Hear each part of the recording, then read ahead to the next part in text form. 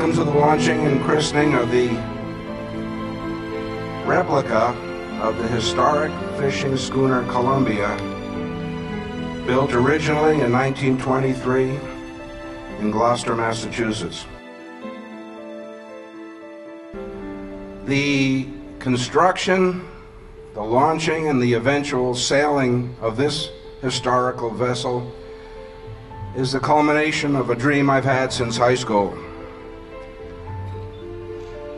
The Columbia, the original Columbia, was truly an historically significant vessel. She was built in 1923, of course, out of wood with no engine, uh, to fish the Grand Banks off Newfoundland and the winter North Atlantic. She was built to fish and to race the equally famous and historic Canadian schooner, the Bluenose.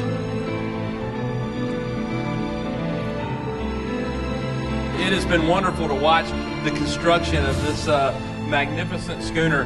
Uh, we've been on on her about four times uh, since the beginning. We've seen this from the from the very start, and so today is an exciting day for us to uh, uh, to watch the successful launch. Uh, I want to thank all the men and women that make up Eastern Shipbuilding.